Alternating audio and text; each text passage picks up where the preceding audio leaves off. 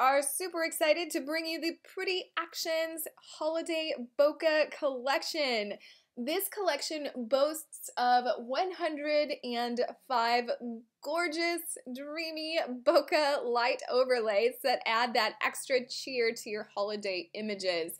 Uh, guys, we've got multicolored lights, green and red lights, uh, the creamy gold lights, and of course we have our handy dandy, super easy to use applicator actions, and I'll show you how that works um, and how you can easily add blur or turn your lights green and red throughout the whole process. It's as easy as a click of your mouse. You're to love it. Not only do we have the regular bokeh images, uh, but we also have gorgeous snowflakes, Christmas trees, gingerbread men, and stars. Guys, this collection is just jam-packed, so let's go ahead and take a quick look here. We're going to add some pretty string lights behind this girl in our wonderful Christmas image. So let's run the bokeh applicator. I'm just going to click on it and press play at the bottom of my actions panel. Okay, and we're going to read our handy dandy instructions and press continue. Okay, we're going to scroll down to our string lights. I'm going to use Bokeh Strings 2. Uh, click place. Now, just a real quick thing to mention, um, and actually, let's take a look at our collection real quick here while I have it open. You have the green and red multi-lights, um, the beautiful multicolored multi-lights. We have our classic golden creamy lights. Okay, you have your string lights here. There's some candy cane overlays, and here we start getting into the shapes. The gingerbread men, snowflakes, stars, and last but most certainly not least, the Christmas trees. Okay, so I'm going to scroll back up to my string lights. I have Bokeh Strings 2 selected. I'm going to click on Place. And I actually want these to appear shorter, so I'm just going to kind of position it up here. If I want to reposition it later, that's no problem. I can absolutely do that. Uh, but for now, I'm going to press enter. Ta-da! Um, let's see here. Now, if I do want to move it, I can just click on my little move tool and click on the actual overlay down here at the bottom of the layers menu. And I could just move that around, maybe make the strings a little bit longer, a little bit shorter. I'm really liking this, and I'm going to leave it as is. Now, of course, there's a string right in the middle of the subject's face. So of course we don't want that, and good news is there's a super simple way of removing that. The magic of Photoshop is layer masks, guys. We have a built-in layer mask here. It's just the little white rectangle next to your overlay. So I'm to click on it.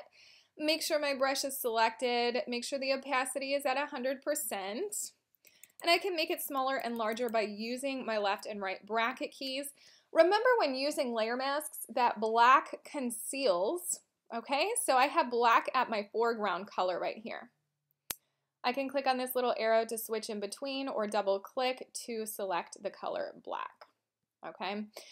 Black conceals and white reveals. So I'm using black to conceal my overlay in specific areas of the image. Now, layer masks are very forgiving. I'm going to make a mistake here and accidentally, we'll say that was an accident, guys, um, remove this string light. So if white reveals, then I'm going to switch white to the foreground color and just easily paint over that. Okay, super easy and forgiving to use these. These are also stackable, and I'll show you that here in a moment. Uh, and very customizable. Look at this. I can click on brighten and just my lights are going to brighten here. I can click on darken and they look a little bit more golden and twinkly with this deep rich brown background here. Desaturate and we'll have just classic white lights. That looks nice with brighten uh, add warmth and we can make the lights more golden. And you can also click on that particular layer and adjust the opacity.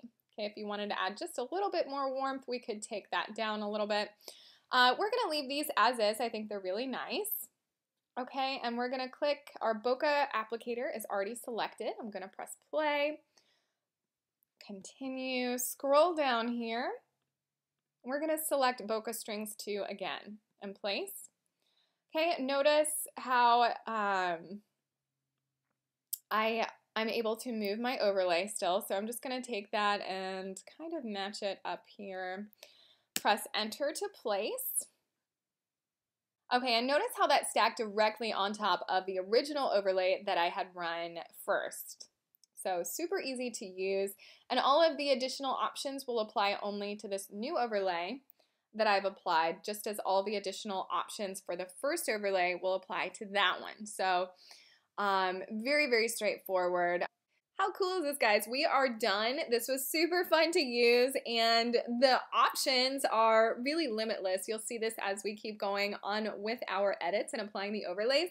You can mix and match overlays. You can use more than one, as we did here, to create a different look. The string lights are actually longer, but we made them look shorter in this image. So super easy to do that. Let's move on to our second image, and we're going to use our bokeh applicator press continue and let's scroll down. We're going to use Bokeh Classic 10. Click place and enter. And all we have to do is just remove some of that bokeh from her head here. I'm going to click on my brush. I clicked on the layer mask. We're going to bring black back to the foreground. My opacity is at 100%. And you may want to zoom in a little bit closer than I am and just be a little bit more careful. I just want to zoom through this edit so I can really show you guys the goodness of this collection and all that it has to offer. So I could actually leave this image as is, but I kind of want to add a little bit more bokeh over here on the left. I like those twinkling lights. In this particular image, I don't want it to look quite so contrasty, so I'm just going to take the opacity and bring it down a little bit to around 80. I like that. And we're going to add another bokeh overlay. Actually, the same one. So I'm going to click Bokeh Classic 10, place. And I'm going to turn it on its side here. Uh, it doesn't have to be perfect at the moment. Yeah, let's just try that, press enter. Now, of course, I'm going to have some masking to do here. Again, I'm going to click on the white rectangle next to the overlay that we now know is the layer mask. Black is still the foreground color because I was just working with the other layer mask there. And I'm just going to go over the edges here and kind of erase some of this, that hard line. And you can turn that on and off just to get a good look of how it's affecting your image. Okay, so I really like that. And again, I'm going to take the opacity down to about 80%. Okay, I just have to say, how cool is it that we can get these awesome holiday twinkly lights in the background and make this image look so cheery and festive without actually having lights there. And I think one of your favorite things is going to be that not only will these take you less than a minute to apply, but if you're creative, which I know you are because uh, being a photographer is an art in itself, you have just so many options to create the look you want and really just add that extra magic touch to your image. So let's keep moving on here, guys. I know you're itching to see a few more uh, examples of what these bokeh overlays can do to your beautiful images. We're going to add one of the multi-lights. I'm going to click place. Um, press enter, and I'm actually going to resize this one a little bit more. I'm going to click on the overlay and my move tool, and uh, you sh press shift and click to keep the image proportions, otherwise the proportion can get a little bit wonky. Uh, I'm just going to make this uh, about this size. I think I like that. I can always resize it later if I want. I'm going to click on brighten to brighten that up a bit. Okay, and I want to add another overlay and I may make a few changes. And actually, real quick here, let me click on the layer mask, grab my brush tool, and erase this bokeh. It's kind of sticking out there. It's only half a bokeh circle. So press play. And I'm actually going to run the same one again, place. And I'm going to have to resize that. And I could easily resize that before. I kind of like to eyeball it and do that after. Uh, if you want to flip your overlay, you can with your overlay selected, which mine is. You can go to Edit, Transform, and Flip Horizontal. Uh, you can do that vertically as well, of course. I love that. Okay, press Enter. And now, of course, I have some masking to do here, so it's only going to take me a moment. I'm actually just going to skip through this part. Okay, voila, just like magic. Um, now, I did just notice that I want to erase that little half bokeh hanging out there. Um, let's go ahead and go back to the first overlay. I kind of, I want my bokeh to fade. So there's two things I can do. I can just lower the opacity of my brush and just kind of keep brushing over that because I don't want it to be quite so noticeable over the tree. Uh, just kind of fade like that. Okay, that's probably the easiest, most customizable way. If I go back in my history, just go back a few steps, you can grab your gradient tool, make sure it goes uh, black to white there. I just reset my colors. Whoops, one moment here. Of course, it would help if I had the actual overlay selected. I think I went back a step too far.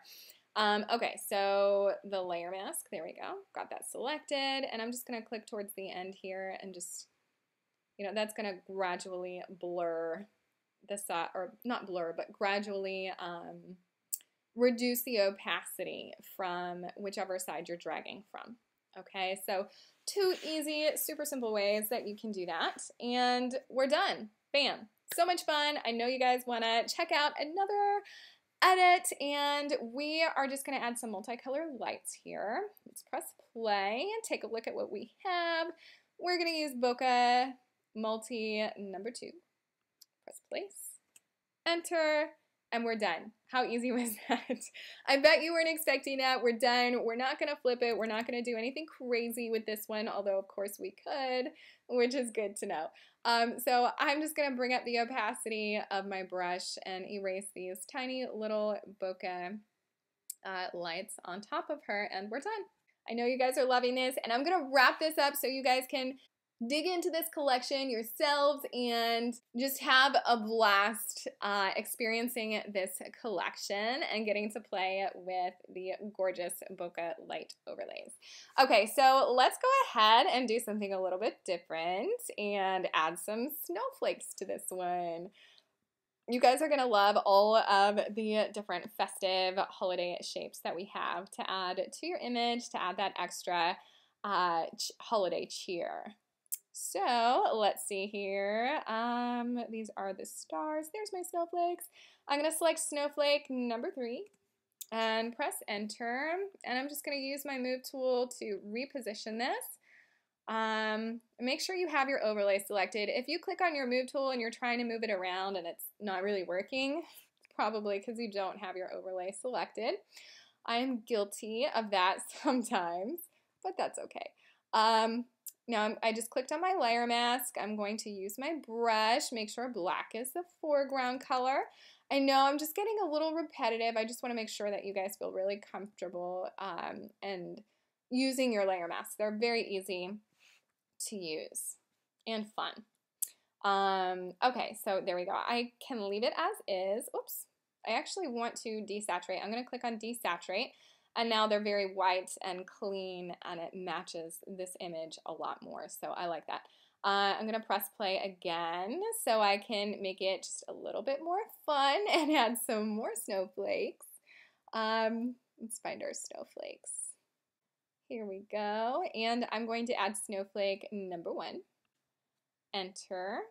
And of course, again, I can be I can move these before I press enter. I'm just not doing that at the moment. So what, whatever your preference is, just know that you can always move and resize your overlay at any point in the, the edit. Just make sure that overlay layer is selected. Okay, so let's desaturate. Uh, I'm just going to turn it on and off using my little uh, eyeball uh, just to see how that's affecting my image. Um, one more thing that I want to do, let's click on the overlay layer mask for my original uh, overlay that I had put on her.